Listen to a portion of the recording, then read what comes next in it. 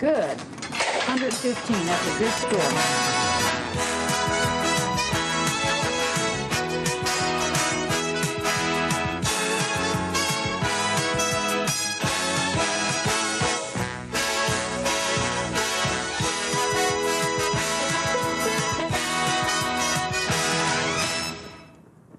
One of the main goals of the Federal Law Enforcement Training Center is to increase its students' efficiency through a well-administered physical fitness program. As part of that program, FLETC has developed a series of tests which will indicate your individual fitness at the beginning of your training here and then measure the progress you have made during your stay. The series of tests is called the Physical Efficiency Battery, and this videotape will familiarize you with its history and purpose and then demonstrate each test you will be required to perform. Ready. As law enforcement officers, you are subjected to danger as a daily part of your job, but there are also internal dangers you may not be aware of. Research shows that cardiovascular deficiencies and back trouble are the two single greatest causes for early retirement in the law enforcement field. In addition, they account for more limited assignment duties than any other health condition. It was felt that a system should be developed that could identify an officer's deficiencies and areas that could cause or contribute to debilitating conditions in his or her career. For this reason, the Federal Law Enforcement Training Center began looking into a way to measure an individual's fitness in certain specified disciplines. And in 1980, the Physical Efficiency Battery, or PEB, was developed. The PEB consists of five separate tests designed to measure your overall fitness. The first is a skin fold caliper test to measure body fat percentage. The second is the Illinois Agility Run. The third is a sit and reach test to measure flexibility. The fourth is the bench press to measure relative strength. And the fifth is the mile and a half run walk to measure cardiovascular endurance. As a student, you will be required to take each of these five tests. But before you can take any part of the PEB, you must be screened to make sure you are medically cleared to participate. Anyone with a disqualifying medical history will not be allowed to take the test. A further restriction to your participation could be the weather.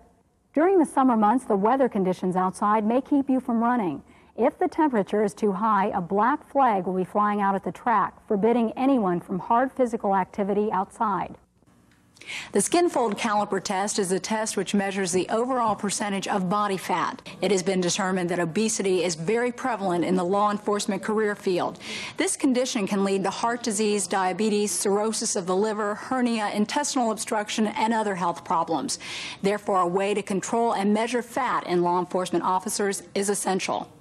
To determine the fat content of an individual, a caliper is used to measure the double layer of skin and underlying layer of fat at various points of the body. Different sites are used for the male and female. In both incidences, the results are recorded, and the millimeter readings are converted by computer into a percentage of body fat for both males and females. The next test you will be administered is the Illinois Agility Run. Agility is defined as the ability to successfully alter or change directions and speed in a quick and fluid manner. During encounters with your adversaries, your success may depend on your agility. There may be times when you could be confronted with a variety of obstacles entailing quick and accurate neuromuscular decisions. The Illinois Agility Run was selected to measure your ability to perform in an agile manner. Although not a component of physical fitness, it consists of such fitness elements as strength, speed, balance, and coordination. The agility course consists of two parallel lines on a floor separated by 30 feet. One line is designated as the start and finish line. The other is the end boundary line. There is a folding chair placed on each line. In addition, two other chairs are placed within the 30-foot course. The test begins in a flat prone position with hands on or behind the starting line, legs straight and heels together.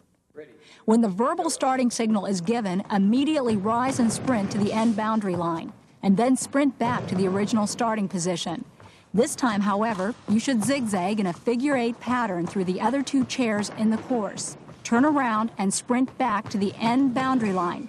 When you cross the line, your time will be recorded to the nearest tenth of a second. You are allowed two attempts with the best time recorded for score. The third area in which will be tested is lower back flexibility. The highly sedentary nature of law enforcement contributes significantly to chronic back problems. Long hours behind the wheel of an automobile, coupled with a generally overweight law enforcement community, is a major cause of this problem. The test developed to measure your flexibility is called the sit and reach test. Before taking this test, ensure you are properly warmed up with some stretching exercises.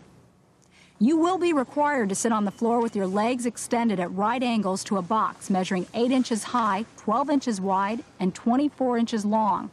The feet are placed against the near edge of the box and are 8 inches apart.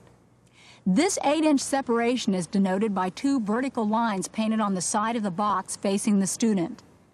The legs must remain fully extended with the knees locked at all times during the test. A yardstick and movable slide are affixed to the top of the box midway between the two vertical lines. The yardstick is attached so that the 15-inch mark corresponds to the near edge of the top of the box. For the test, you will be required to reach slowly forward with both hands and push the slide back as far as you can. The distance reached on the yardstick as measured by the slide is recorded. Ballistic bouncing or jerky movements are not permitted. Just a slow reach forward as far as you can. You will be given three trials, and the best of the three will be recorded as your flexibility score. Good job. The next area in which you will be tested will be the bench press to measure relative upper body strength. There are minimum strength requirements for most physical actions in a law enforcement officer's daily routine. Since the majority of these requirements involve the upper body, the strength of the arms and shoulders will be measured in this test. The equipment required for this test is a fixed bench press station in the gym's weight room. The test is unlike most strength tests, for even though it requires only one repetition of maximum weight as in other tests, this test uses the body weight as a standard from which scores are determined. The determining of the maximum weight pressed away from the body in a single repetition involves a trial and error approach. A comfortable weight that the student can press is determined, once this weight is pressed, more weight is added. The goal is to reach the maximal lift by the fifth effort. Once this weight has been determined, this figure is converted into percent of body weight and recorded as your score. The final test in the PEB is the mile and a half run walk, which is designed to measure your cardiovascular efficiency. It will be run on a quarter mile track. You will be required to negotiate the track six times as quickly as you can. This can be accomplished by running, walking, or a combination of the two. When you cross the finish line, your time will be taken and recorded. You will then be required to walk an additional lap to cool down.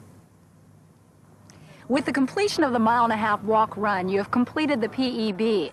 The results of the test will be tabulated and fed into a computer which will keep a permanent record of your score you will receive a percentile ranking on how well you performed within your age and sex group. For example, the agility run has been broken down into three age groups for the male and female, with different standards for each group. As shown on the table, the minimum score for most groups is 70%. All other tests are standardized in a similar manner. The Physical Efficiency Battery is a tool to help you identify your weak points so you can improve on those areas either through a structured physical fitness program or through your own personally initiated fitness activities. One word of caution if at any time during the test you feel sick or hurt, report immediately to your instructor who will refer you to the athletic trainer's office for the appropriate treatment. Otherwise, do your best and get a good score.